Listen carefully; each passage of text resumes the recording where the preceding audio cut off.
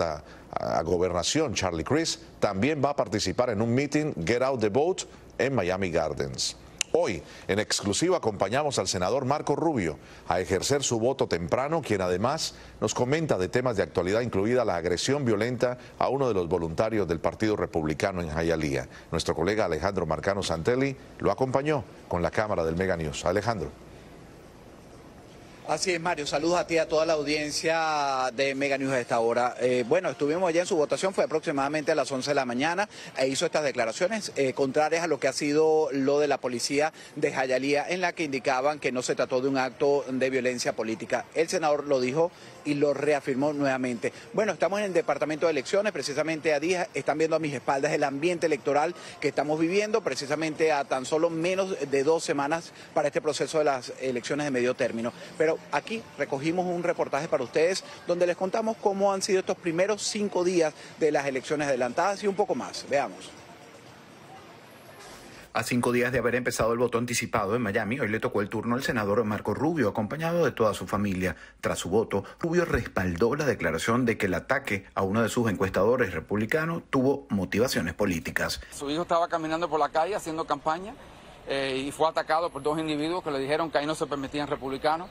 Y lamentablemente hemos visto ahora mucha prensa local enfocarse en atacar a la víctima en vez de concentrarse en los dos criminales eh, que lo atacaron. El voto anticipado está reflejando que los votantes tienen mucho interés por estas elecciones de medio término. Hasta este momento ya han votado más de 200.000 personas en estas elecciones generales. Más de 150 han votado por correo y más de 50 mil por el voto anticipado. A menos de dos semanas de estas elecciones, los votantes tienen grandes preocupaciones. Va muy bien, están todo organizado, pero hago una recomendación, no votar más por correo, venir personalmente. Otra de las cosas que inquietan a nuestros residentes es el alto costo de la vida, el empleo y la economía. Yo vine por ser libre y mis libertades me las están manejando un poquito a la izquierda y no estoy de acuerdo. En esta contienda, por muchos esperadas, se decidirá sin dudas el control del Congreso estadounidense, actualmente en manos del partido gobernante, los demócratas. Que salga toda la Cámara y todos ellos, todos los republicanos. En 2021, Florida aprobó una nueva ley electoral que limita la disponibilidad de buzones de entrega de papeletas e introdujo nuevos requisitos de identificación. El Estado apeló la decisión y la nueva ley se restableció temporalmente a la espera del resultado del caso. Hasta ahora todo muy bien. Esto es muy buena idea hacerlo antes de tiempo para que no para que todo el mundo tenga tiempo de ir a votar. Recuerden que en estas elecciones de medio término, estas son las contiendas para nuestra gobernación, el demócrata Charlie Crist le disputa el puesto al actual mandatario regional, Ron DeSantis. Aramis Ayala, el Partido Demócrata, también le disputará el puesto de fiscal a Ashley Moody.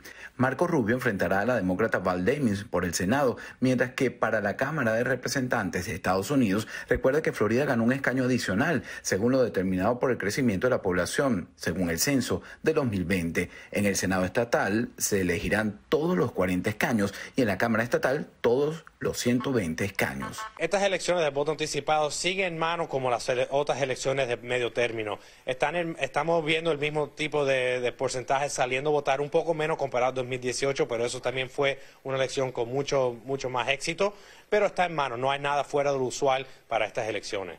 Las elecciones generales serán el martes 8 de noviembre. Las urnas estarán abiertas de 7 de la mañana hasta las 7 de la noche. Recuerde llevar una identificación válida como una licencia a conducir emitida por el Estado o el pasaporte estadounidense.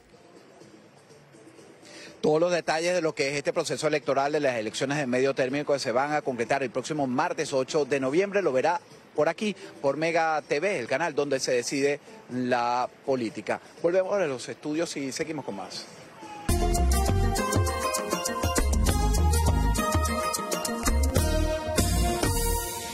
Vamos a darle un vistazo a Cuba.